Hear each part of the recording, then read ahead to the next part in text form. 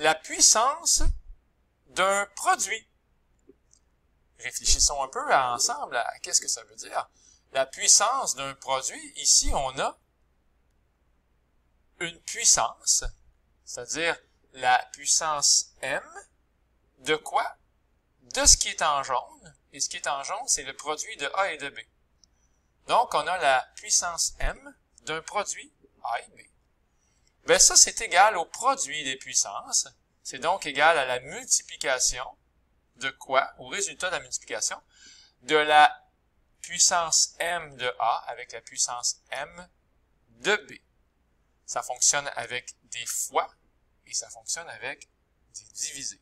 Donc, j'aurais pu écrire aussi A divisé par B à la m, c'est égal à A à la m divisé par B à la m. On aurait pu l'écrire aussi comme ça, A sur B à la m, qui est égal à la même chose encore que A à la m, divisé par B à la m. Donc, on aurait même pu écrire A à la m sur B à la m. tout ça, là, ça vient tout ensemble. Et celui que je préfère, c'est vraiment le numéro 2. C'est lui qui me fascine. J'aimerais qu'on le recopie religieusement. Parce que moi, là, la racine cubique de 50, là, je ne sais pas c'est quoi. Sincèrement, là, quelque chose fois quelque chose fois quelque chose qui donne 50. Ce quelque chose-là va être quelque part entre 3 et 4. Tiens, entre 3 et 4. Mais c'est quoi exactement le nombre irrationnel? Je le connais pas. Et lui non plus d'ailleurs, la racine cubique de 160, je le connais pas. Quelque chose fois quelque chose fois quelque chose qui donne 160. Je comprends que ça va être entre 5 et 6. Et c'est un nombre aussi très irrationnel. Mais ce qui est extraordinaire, c'est que lorsque je multiplie ces deux nombres-là irrationnels, ça me donne quand même un très beau résultat de 20. Parce qu'on connaît les lois des exposants. On comprend que la racine cubique de 50, ou si tu préfères 50 à la 1 tiers, et la racine cubique de 160, si tu préfères 160 à la 1 tiers, on comprend que quand on les multiplie, on a le même exposant, n'est-ce pas? Au risque de me répéter, on a le même exposant. Bon, peut-être que j'ai pris un crayon un peu trop gras. Alors, étant donné qu'on multiplie et qu'on a le même exposant, au lieu de l'écrire deux fois, on va l'écrire une seule fois. Donc, on va écrire à la 1 tiers, comme dans 50 fois 160, ce qui fait 8000 à la 1 tiers. Mais 8000 à la 1 tiers, c'est la racine cubique de 8000.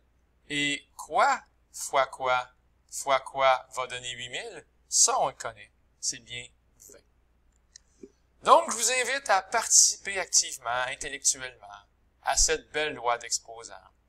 Euh, regardez ici, 27 fois 8 à la 1 tiers. Sincèrement, 27 fois 8, peut-être qu'on sait que ça fait 216. Donc, je vais écrire égal 216 à la 1 tiers. Puis peut-être qu'on sait, ben j'espère en fait qu'on sait que ça veut dire la racine cubique de 216, et sûrement qu'on sait que c'est 6, la racine cubique de 216. Mais si toi, élève, peut-être un peu moins travaillant qu'un autre, ça dépend. Si tu n'as pas le goût de faire 27 fois 8 égale 216, tu peux tout simplement faire 27 à la 1 tiers fois 8 à la 1 tiers. Et c'est ça qui est écrit ici. Donc, tu peux appliquer cette loi-là. Ah, 27 à la 1 tiers, c'est facile. Ça, c'est la racine cubique de 27. Et ici, 8 à la 1 tiers, la racine cubique de 8. Racine cubique de 27, 3 racines cubiques de 8. 2, comme dans 3 fois 2 égale 6. Est-ce que j'ai dit que la réponse était déjà 6? Alors, on peut prendre ça de, tous les côtés, ces, lois-là d'exposant. Ici, on a 50 à la 1 demi comme racine de 50. Peut-être que vous avez entendu parler d'une technique extraordinairement rare et précieuse. Non, j'exagère un peu. Quand même, une technique qui s'appelle réduire le radicande. Réduire le radicande, ça veut dire, au lieu d'avoir racine de 50, qui est un grand nombre, on pourrait peut-être à la place avoir racine de 2, qui est un plus petit nombre. Mais pour réduire le radicande, il suffit de briser en deux la racine carrée. Et c'est pour ça que c'est écrit ici racine de 25 fois racine de 2. On peut faire ça.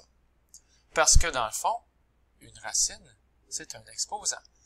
En fait, ce que j'essaie de vous dire, c'est que ce qui est écrit ici, ce qui est écrit là, là, ou bien ce qui est écrit ici, ben c'est vraiment cette loi-là. C'est de cette loi-là dont on parle. Alors, l'exposant une demi, au lieu d'être écrit une seule fois, il est écrit deux fois. Et ça fonctionne. Donc, 25 à la 1 demi fois 2 à la 1 demi. On sait bien que 25 à la 1 demi, c'est racine de 25, et on sait bien que racine de 25, c'est 5.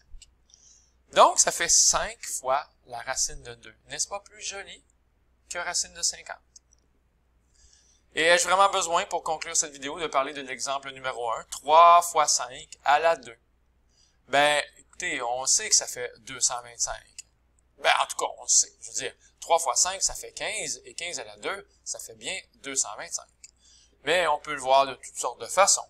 On peut voir 3 à la 2 fois 5 à la 2. Comme ici, 3 fois 3 fois 5 fois 5. Ce qui fait 9 fois 25. Et c'est vrai aussi que ça donne 225.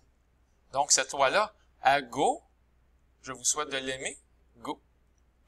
Et c'était le mot de la fin. Bye tout le monde!